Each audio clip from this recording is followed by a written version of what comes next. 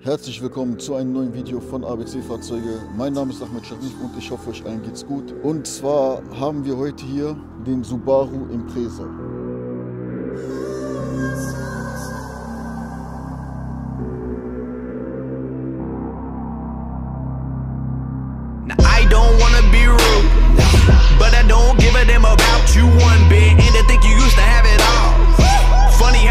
Turn around. You check it for me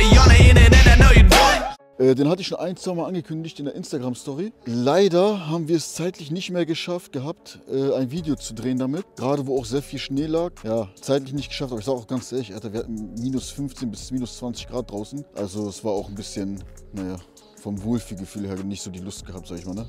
Ja, auf jeden Fall ist ein bisschen schade, weil wir natürlich nicht so die große Möglichkeit jetzt haben, irgendwo zu driften. Hier werden wir natürlich nicht fahren können, das ist klar. Dafür ist er ein bisschen zu tief. Aber wir werden uns da was einfallen lassen. Also erstmal zurück zum Fahrzeug. Das ist der Subaru Impreza. Äh, 2,0 Dieselmotor mit 150 PS. Ähm, ich werde mal ein bisschen das Fahrzeug präsentieren, ein bisschen was dazu sagen. Ich habe mich selber noch gar nicht so groß damit auseinandergesetzt. Das machen wir auch gleich zusammen. Deswegen nicht wundern, wenn ich irgendwas nicht weiß oder auf Anhieb nicht einfällt oder sonstiges. Wie gesagt, ich habe mich mit dem Fahrzeug noch nicht groß auseinandergesetzt, aber das kriegen wir hin. Ja, erstmal muss ich sagen, optisch. Du hast ja auch direkt gesagt, der muss richtig äh, Dampf unter der Haube haben, ne? Ja, aber hat äh, nur 150 PS. Ich glaube, die sind aber auch beliebter als Benziner, ne? Weil da sie die richtig mit Turbos auf und dann haben die richtig Leistung, da werden da mit Rennen gefahren und sowas, ne? Ja, nichtsdestotrotz haben wir hier einen Diesel, Baujahr 2008 oder 2009, schaue ich gleich nochmal genau nach. Hat die ca. 182.000 gelaufen, aber dazu kommen wir gleich. Jetzt hat man hier, der Wagen steht auf Allwetterreifen, 16 zu Allwetterreifen. Ja, die Bremssättel haben sie mit Grünfarben lackiert, kann ich überhaupt nicht nachvollziehen. Also in der Regel macht man die rot oder halt schwarz, was ich auch sehr gerne mache, schwarz glänzend. Ansonsten ist ein Fünftürer, hat jetzt äh, 188.000 gelaufen, eine kleine Delle, ist jetzt nicht weiter tragisch. Jetzt von hinten. Ist ein bisschen Einsatz hier. Ne? Ach so, ganz wichtiger Aspekt bei dem Fahrzeug. Es ist ein Allradfahrzeug, aber ich glaube, die meisten Subaru-Fahrzeuge sind Allradfahrzeuge. Deswegen sind die auch so teils beliebt. Da gibt es auf jeden Fall eine Rubrik für, die richtig auf diese Dinge abfahren. Ja, auf jeden Fall ein 2 Liter Boxermotor. Der hat sogar eine abnehmbare Anhängerkupplung. Und das ist ein Sportauspuff. Also auf jeden Fall nicht der Originale. Wir müssen jetzt hier ein bisschen durch den Matsch und Schlamm laufen. Ich will euch mal den Motor zeigen. Das ist ein Boxermotor. Das Besondere, was heißt das Besondere? Ein Boxermotor ist halt einfach die Bauweise. Ne? Es gibt ja den Sechszylinder Reihenmotor bei BMW beispielsweise. Da ist es Zylinder für Zylinder so ja, in der Reihe halt. Ne?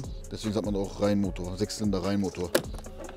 Leute, ich will nichts Falsches sagen, aber ich meine, das ist ein Fünfzylinder Boxermotor. Aber das schauen wir uns noch mal gemeinsam an. Das liegt halt an der Bauweise, weil der halt wie eine Faust die Zylinder eingehen oder zusammengehen, um es so zu sagen. Ah, der hat einen Diesel-Partikelfilter. Ansonsten, wie könnte man das jetzt hier am besten erkennen? Ich sehe schon wieder die Kommentare bombardieren. Der hat doch gar keine Ahnung von dem Motor. Aber ist nicht schlimm. Das nehmen wir alles mit. Das nehmen wir alles in Kauf, weil ich bin kein Vollprofi oder ein Experte oder sonstiges. Ich versuche einfach euch mitzunehmen, während ich das Fahrzeug kennenlerne.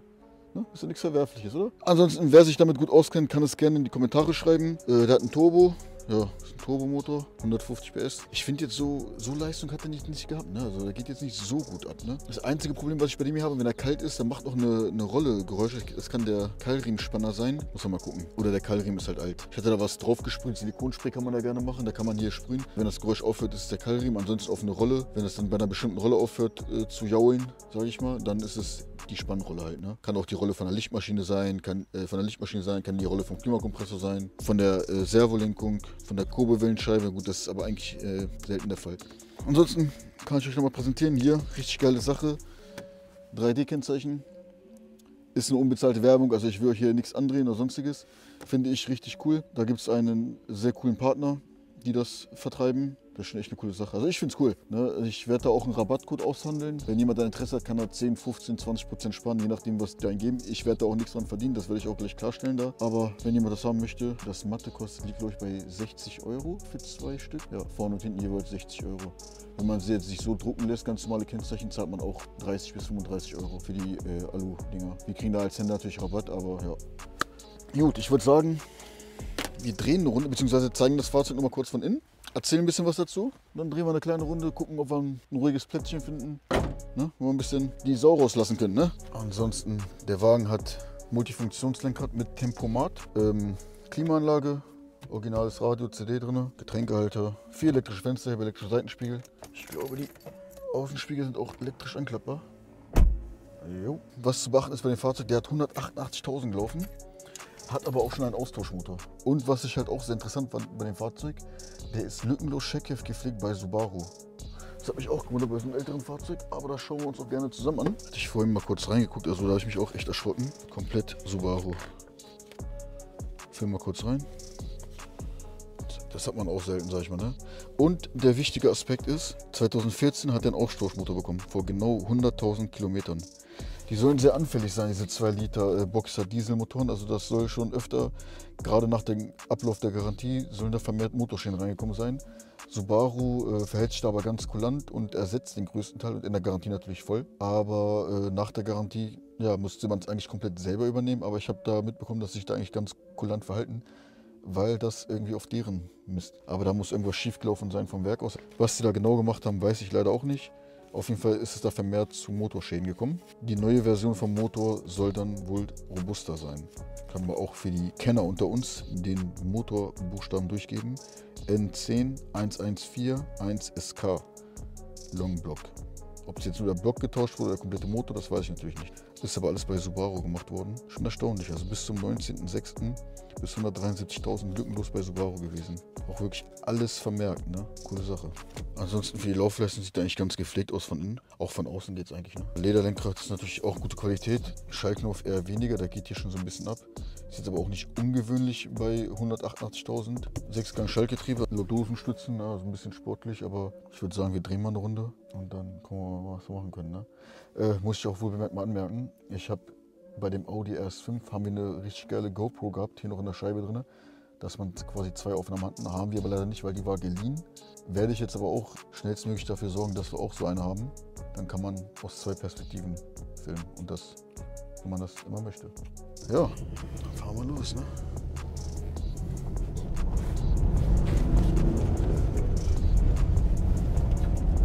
Wie gesagt, das Coole ist halt wirklich der Allradantrieb an dem Fahrzeug, ne? Also ganz ehrlich, ich finde der Motor ist viel zu laut. Ja, das war aber auch schon auf jeden Fall. Ne? Gut, der hat noch, glaube ich, er hat auf jeden Fall noch einen Sportauspuff drin. Das ist auf jeden Fall nicht der Originale. Aber so vom Fahren her ist auf jeden Fall stabil auf der Straße. Ah, Motor ist definitiv zu laut. So Subaru und sowas, Toyota, sind eigentlich robuste Autos. Toyota jetzt, ne? aber Subaru habe ich jetzt nicht so oft gehabt. Habe ich vielleicht ein, zwei Mal gehabt, so ein Impresa Kombi. Subaru Forester Geländewagen, der ging eigentlich ganz gut zum Verkaufen und sowas. Ne?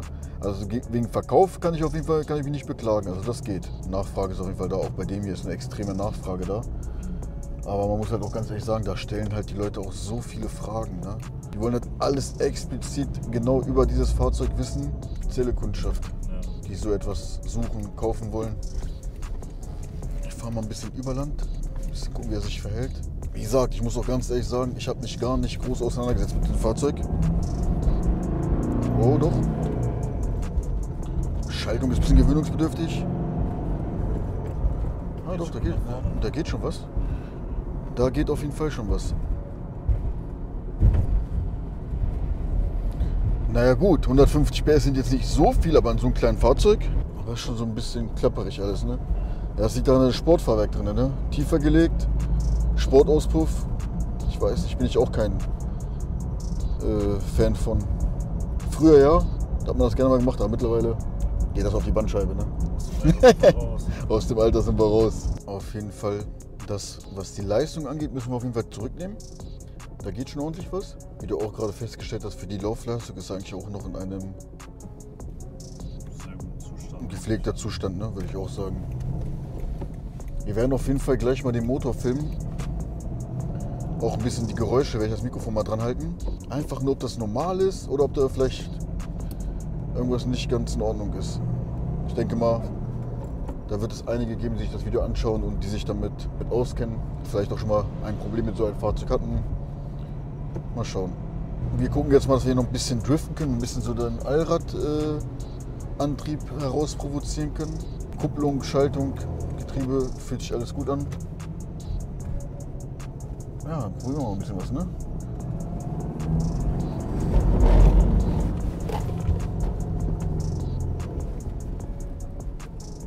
wirfst natürlich nicht so leicht aus der Bahn, ne? als ein Allradantrieb. Aber wir probieren mal ein bisschen was aus. Wie gesagt, ich mache das selber nicht oft oder eigentlich gar nicht, aber wir gucken mal einfach mal.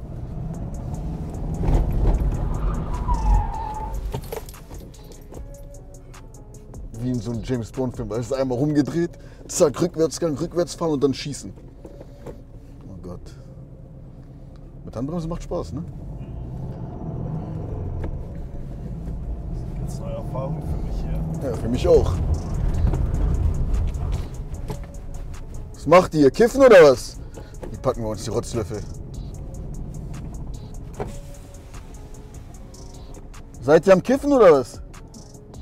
Raucht ihr? Warum rauchst du? Gras oder Zigaretten? Und du? Locke? E-Zigarette? Wie alt seid ihr? 14? Alle? 15? Du? Du hast nichts, ne? Der schwört sogar. Was macht ihr hier? Allrad, mein Lieber. Feiert ihr Subaru oder was? Voll viele Jugendliche feiern Subaru. Macht keine Scheiße, ich behalte euch im Auge, ne? Äh, das, äh, das kommt alles auf YouTube, ne? Okay. A- ABC minus Fahrzeuge. Nein, alles gut, Jungs, bleibt sauber, ne? Raucht diese Scheiße nicht. Das ist richtig ungesund. Ehrlich. Ja. Mach's gut. Mach's besser. Machen wir. Abonniert den Kanal.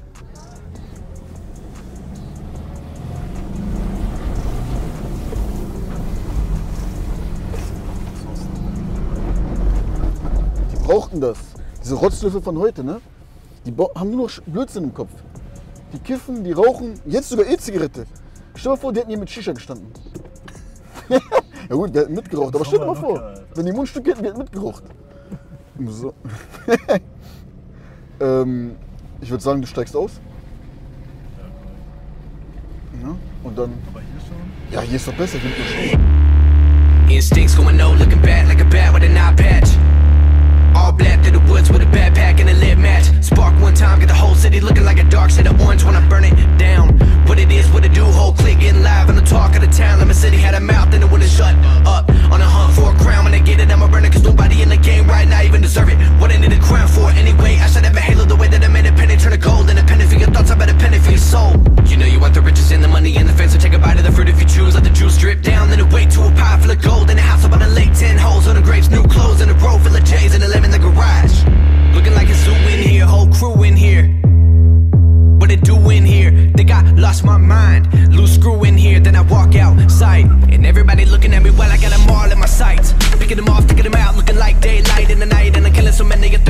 get involved. And everybody falling from the elevator, now I'm Bray Rice in this. It's rice and take a bite, it's nice. And I have a nice time with it. By the time that it finds the way to the right side of him, not even a Heimlich can save him. A selective finger to you imbeciles. Tell me what's been getting into you. Envy will kill you. She said I'm a gentleman. I admit a lot of women set up on my ottoman. I don't give a damn like a auto with no time to kill. I've been feeling like the opposite of work. It's a work and I've never been a purpose. Wir verabschieden uns an dieser Stelle wieder mit einem neuen Video. Äh, ich hoffe, ihr habt auf jeden Fall Spaß daran, auch an dem Fahrzeug an sich. Ob euch das gefällt, würde mich auch interessieren, würde mich freuen.